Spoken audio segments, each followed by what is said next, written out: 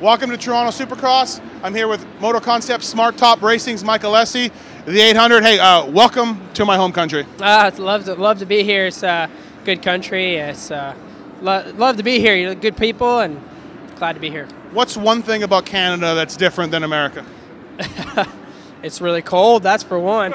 For two, I mean, obviously the racing is going to be good this weekend, but uh, you hear everybody that talks, and they're like, Canada, eh? So that's for sure something that's different. Uh, all right, let's get to the track. Uh, track walk happened. Uh, what'd you think? Uh, talk about the track tonight. The dirt looks pretty good, although maybe a tad rocky. A little rocky, but it's good they sifted it out since last year. So I think it, ultimately it's going to be good. It looks a little bit looser. So last year was considerably a hard pack, and this year it looks like it's going to be the complete opposite. It's going to be rutted and it's going to be soft.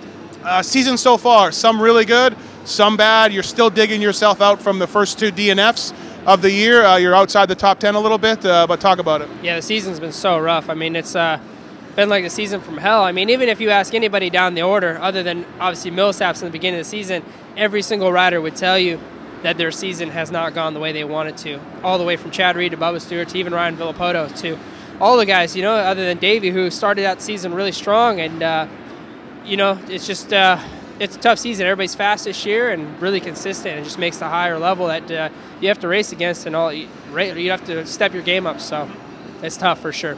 All right, that's Mike Alessi. I'm Steve Matthes. For more, check out supercrossonline.com.